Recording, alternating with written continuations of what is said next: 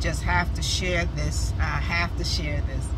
I was um, listening to Darren Daily's um, nugget um, for January 25th entitled Here's How to Infect People Positively. I started listening to that yesterday and I listened to it like three to four times and I mean I just needed it to sink into my spirit about how attitude is really your determining factor as to what you want to do and where you want to go and that truly there is no limits. There is no limits except for the limits that we put on ourselves. I listened to that thing last night. I started listening to it this morning as I was driving um, to do my donation pickups.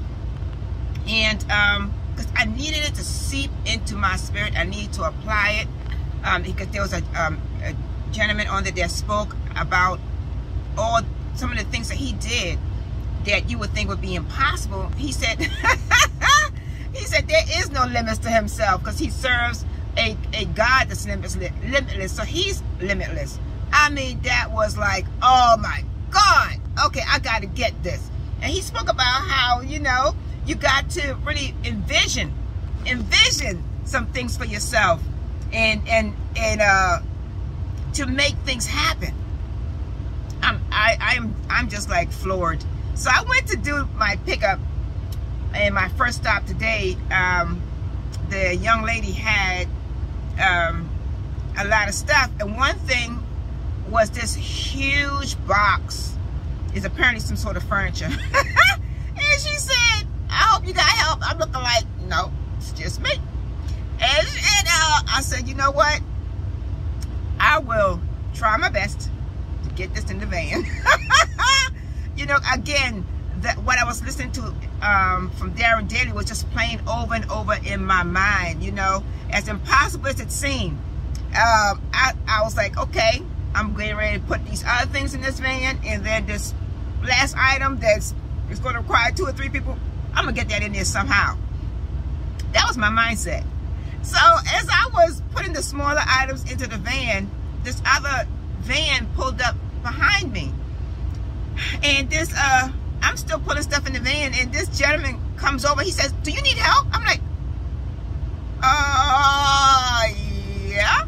I said, uh, do you work for this business? He said, no. I said, he said, do you need help? I said, uh, yes, I do.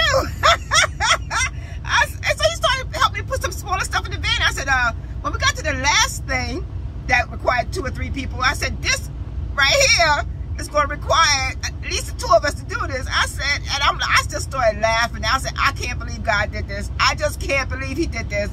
Because out of nowhere, he showed up. And there was also another uh, young lady with him. And she, she started laughing. I was like, y'all don't understand. oh my God, this was like, I said, I'm going to have to write this down. Well, not only do I have to write this down, I have to share this.